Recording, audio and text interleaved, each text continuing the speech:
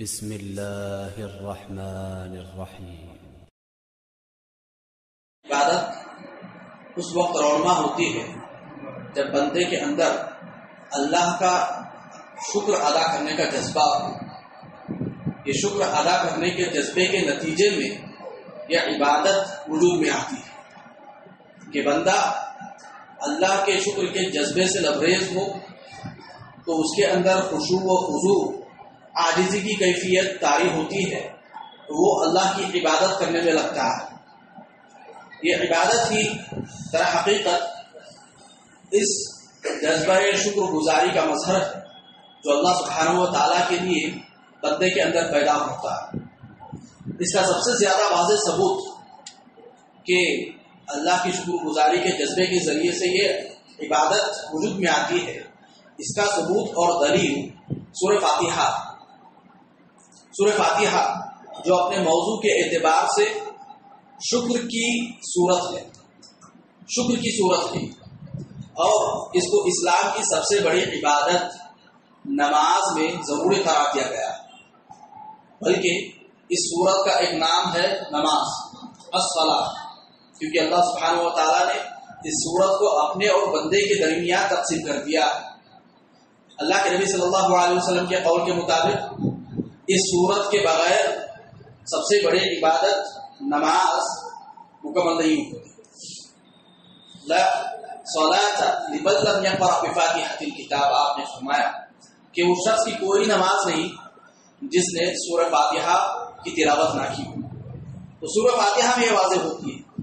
اس کے علاوہ سورہ فاتحہ پر غور کرنے سے ہمیں معلوم ہوتا ہے کہ بندے پر اللہ کی ربوبیت، اس کی رحمانیت اس کی رحیمیت کی شان کے مشاہدے سے شکر گزاری کا جو جذبہ تاری ہوتا ہے، اس کا پہلا تقاضا یہی ہے کہ بندہ اللہ سے یہ طلب کرتا ہے اور اللہ سبحانہ و تعالیٰ سے یہ بیان کرتا ہے کہ ایا کا نعبد، کہ اللہ میں تیری ہی عبادت کرتا ہوں۔ اللہ کی شکر گزاری کی عملی صورت یہ ہے کہ بندہ اللہ کی عبادت کرے۔ جیسے اللہ سبحانہ و تعالیٰ سورج زمر میں فرماتا ہے بل اللہ وکم من الشاکر بلکہ آپ، اے محمد صلی اللہ علیہ وسلم، صرف اللہ کی عبادت کیجیے اور شکر گزاروں میں سے ہو جائے تو شکر گزاری کا تقاضا یہ ہے کہ صرف اللہ کی عبادت کی جائے۔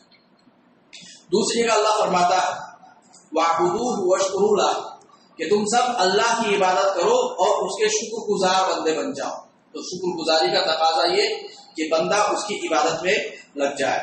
نبی کریم صلی اللہ علیہ وسلم کے متعلق روایت میں آتا ہے کہ آپ صلی اللہ علیہ وسلم رات میں نمازوں میں مشغول ہوا کرتے تھے اور اس قدر لمبا آپ کا قیام ہوتا کہ آپ کے پیروں میں سوج آ جاتی۔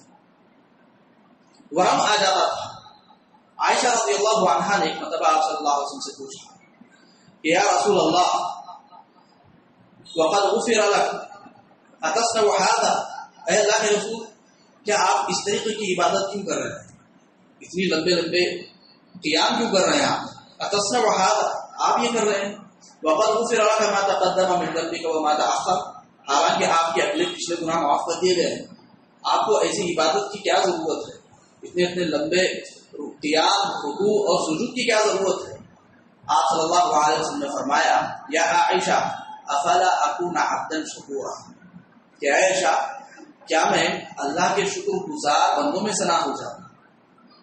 تو اس کی شکر گزاری کا تقاضا یہ ہے کہ ہم اللہ سبحانہ و تعالیٰ کی عبادت میں مشغول ہیں۔ اس سے یہ حقیقت واضح ہوتی ہے کہ عبادات میں اصل محرک، عبادات میں اصل چیز اللہ کی شکر گزاری کا احساس اور جذبہ ہے۔ جب تک یہ جذبہ بندے کے اندر بیدار رہے گا شکر گزاری کا جذبہ، اس وقت تک بندہ اللہ سبحانہ و تعالیٰ کی عبادت میں لگا رہے گا۔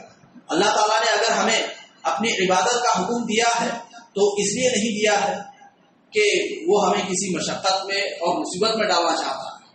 اس لیے نہیں دیا ہے، بلکہ اس نے یہ پسند فرمایا کہ ہمارے شکر گزاری کا جو جذبہ ہے، اس شکر گزاری کے جذبے کی ادائیگی کے لیے ایسی شکلیں معین فرما دے، ایسی شکلیں طے کر دے جو اس کی نگاہوں میں پسندیدہ ہے اب بندہ شکر گزاری کے جذبے سے عبادت کرنا چاہے گا، تو کس طریقے کی عبادت کرے گی وہ شکلیں اللہ سبحانہ و تعالیٰ نے متعین فرما دی، نماز کی شکل میں، روزے کی شکل میں، زکوٰۃ کی شکل میں، حج کی شکل میں، ذکر و اذکار کی شکل میں، عبادت۔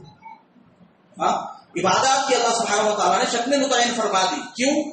تاکہ جو بندے کے اندر جو شکر کا جذبہ ہوتا ہے، وہ جذبہ ابھر کر سامنے آئے، ان شکلوں میں آئے۔ عبادت کرنے کا جو جذبہ، شکر گزاری کے جذبے سے جو پیدا ہوتا ہے، وہ عبادت کے ان خانوں میں ڈھل جائے۔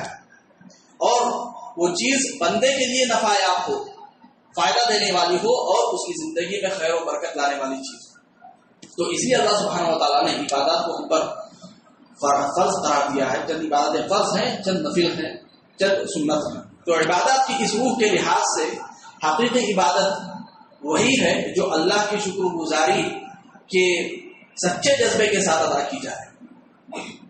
اب جس کے اندر شکر گزاری کا جذبہ، سچا جذبہ نہیں ہوگا وہ عبادت روح سے خالی ہوگی۔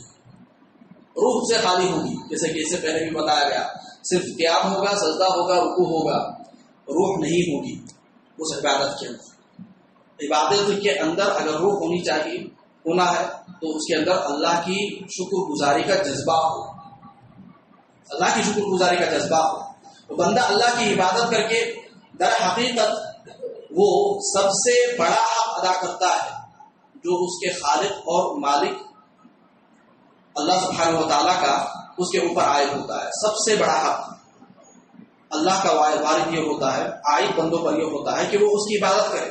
اور یہ حق اس لیے ادا نہیں کرتا کہ اس میں اس کے خالق و مالک کا کوئی نفع اور فائدہ ہے۔ اس میں اللہ کا کوئی فائدہ نہیں ہے کہ بندہ اس کی عبادت کرے، بلکہ اس میں سارے کا سارا نفع، سارے کا سارا فائدہ صرف بندے کا ہوتا ہے۔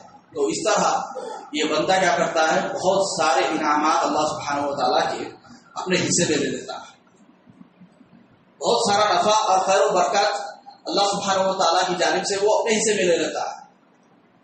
قرآن مجید کی متعدد آیات سے، کئی آیات سے یہ حقیقت واضح ہوتی ہے کہ اللہ کی عبادت در حقیقت اس لیے کی جاتی ہے کہ وہ خالق ہے، وہ مالک ہے۔